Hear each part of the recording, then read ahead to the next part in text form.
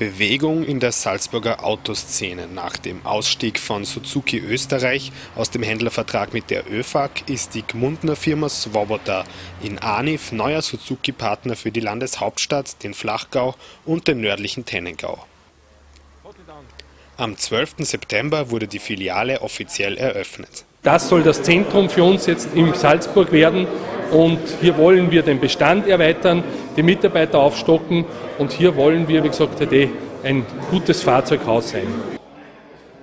Suzuki setzt auch in dem neuen Autohaus auf seine beiden erfolgreichen Automodellsektoren. Suzuki hat zwei große Bereiche, wo sie sehr, sehr gut unterwegs sind am Markt. Das eine ist natürlich der Allradsektor, mit dem Suzuki über Jahrzehnte äh, ja, groß geworden ist.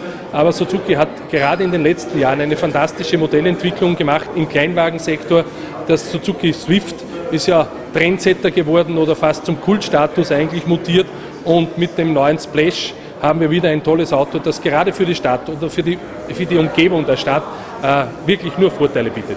Suzuki Österreich-Manager Helmut Plätzer zeigt sich zufrieden, mit dem Autohaus Swoboda einen der erfolgreichsten Händler nach Salzburg geholt zu haben. Die Firma Swoboda ist seit vielen Jahren einer unserer erfolgreichsten Partner äh, mit dem Stammsitz in Oberösterreich und er zeichnet sich vor allen Dingen durch den personifizierten Verkauf aus. Und ich glaube, dass in Zeiten wie diesen, wo also doch eine sehr, sehr große Verunsicherung herrscht, einmal die wirtschaftliche Situation, zweitens die Umwelt, die vielen Auflagen, die jetzt diskutiert werden, die rund ums Auto passieren, äh, glaube ich, ist es sehr wichtig, dass wir eine Möglichkeit bieten eines personifizierten Verkaufs.